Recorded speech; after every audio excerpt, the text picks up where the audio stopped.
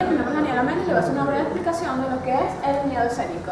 El miedo escénico es un estado inhibitorio de, que impide las capacidades expresivas de la persona que lo está padeciendo. Por ejemplo, cuando estás en, frente de un gran público y la persona se queda callado, te da miedo expresarte, eso significa tener miedo escénico. Sus características fisiológicas, o sea, lo que te puede causar es sudoración a las manos, dolor estomacal, urgencia urinaria, dolor de cabeza, entre. A nivel cognitivo te puede ocasionar congestión mental, expectativa del fracaso, este, confusión y falla de concentración.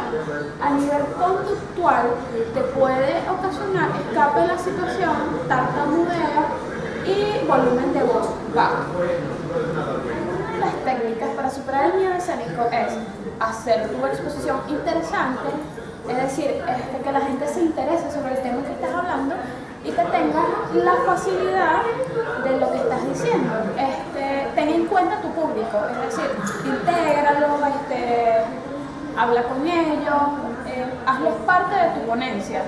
Grábate, es muy importante que te grabes para que veas cómo lo estás haciendo y veas lo que puedes mejorar y en qué estás fallando.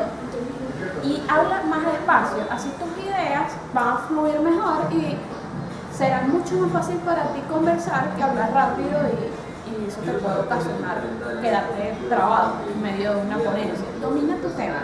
Es muy importante que domines el tema que estás hablando, es decir, conoce bien el material al cual vas a exponer, porque eso evitará de que te confundas este, y logres tener una buena exposición o al momento de que pase alguna confusión puedas salir de eso rápidamente. Este, practica en voz. Practicar en voz te va a ayudar mucho a tu seguridad y a tu, a tu concentración y a tu memoria.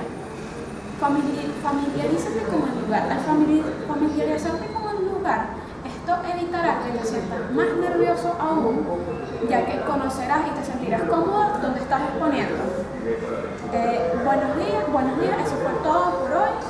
Eh, mi nombre es Daniela Méndez. Eh, eso fue todo mi sobre el miedo escénico. Muchas gracias.